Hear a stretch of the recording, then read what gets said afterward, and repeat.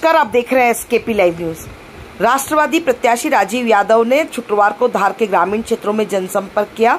यादव ने जनसंपर्क की शुरुआत जेतपुरा से की। जामंदा, दौलतपुरा, कड़ोला, कुर्द कुंदरसी आपसी खेड़ा, छड़ोदा बिड़ौता बग्गल, एकल दुना लोहारी लेबड़गांव, नेकपुर, किलोली, रोंगलिया, बड़छापरा कराड़िया ग्यासाबाद, दंगोठिया अहरखेड़ी समेत आसपास के कई गाँवों में संपर्क किया। इस दौरान राजीव यादव का लोगों ने फूलमाला पहनाकर स्वागत किया। यादव को बुज़ुर्गों ने आशीर्वाद दिया। वही उनके पक्ष में मतदान करने की यादव ने अपील की। जेतपुरा में लोगों ने यादव को केले से तोलकर उनका स्वागत किया। जनसंपर्क के दौरान बड़ी संख्या में उनके साथ युवा नज़र आए। वही आपको बता दें कि राजीव यादव के द्वारा जो है युवा सम्मेलन को संबोधित भी किया गया। देखें खबर इसके पी लाइव न्यूज़ पर।